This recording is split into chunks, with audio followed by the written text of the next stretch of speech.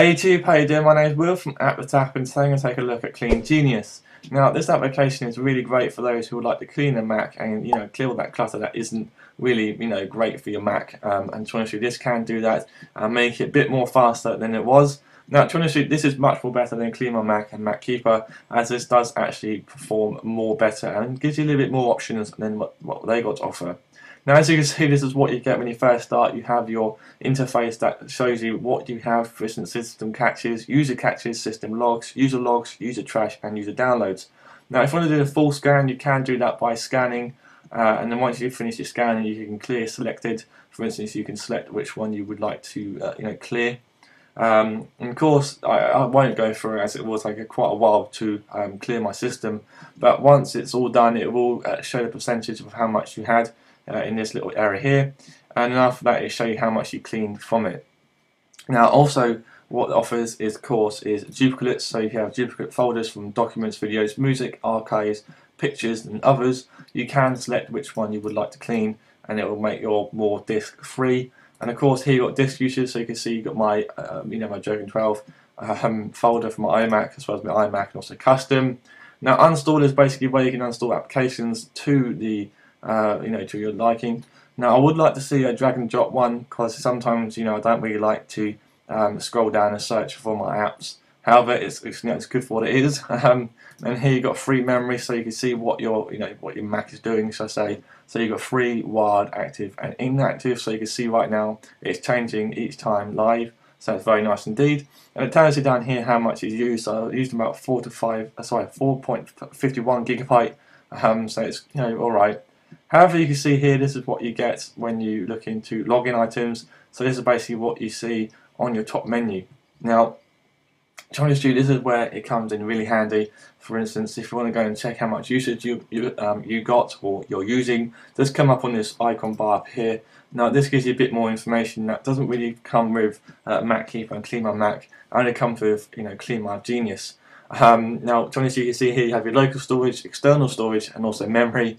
Now you can see how many you got. For instance, I've got three about 3.4, sorry, 3.48 gigabytes. Um, and I've got TARDIS here, for instance, my external storage, you've got 155.41 gigabyte, and then after I got my local storage, for instance, my iMac, it's got 301, uh, sorry, 301.91 gigabyte from 999 gigabyte. So it's giving me a lot of information and also a lot to, um, you know, to, you know, to control as well as see what's going on. Now into settings you just got really you know the normal things really.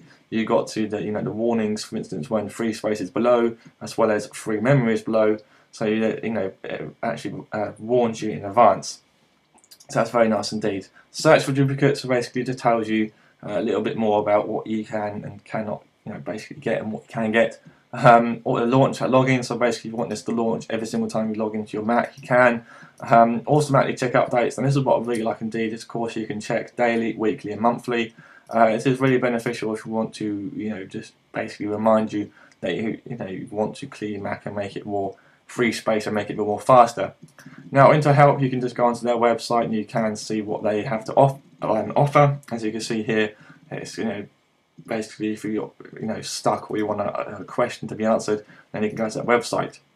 Now this does come with a price, of course you can get the free download for a trial, um, but you can get this for £18 in the UK and about $29 in the US. Now would I really think this is worth the money? To be honest with you I would say it's you know every single penny, um, only because you do have you know this icon up here that tells you a bit more information than most do, uh, and here you've got this really simple but very effective uh, control panel, and that's why you've got these different items here that do come in here as well. Now do bear in mind if you are going to go and um, you know, get this separately. For instance, you can get duplicates, disk usage, uninstall, free memory, and login items separate uh, for a separate price. But if you get this CleanGenius, you can get the whole bundle for a price of £18, as I just said a second ago. However, on the bottom, I did forget to say, I do apologise, is that you do have to, um, you know, your locking system. So basically, no one else can get onto this apart from yourself. So say if you want to make it secure, you can, so people won't be able to delete things without your permission. So that's another good thing as well. Now, for the price of this, it's very good. It's you know, it's giving you what you really want. For instance, it's making your you know, performance on your Mac more faster, and also clear all that clutter that you don't really need. However, guys, if you want to know a bit more about this application, do head over to uh, willsdailyblog.com uh, to get a bit more uh, information and also my review or thoughts on it. However, guys, if you like this, then please do thumbs up, share, and I'll see you all in my next video.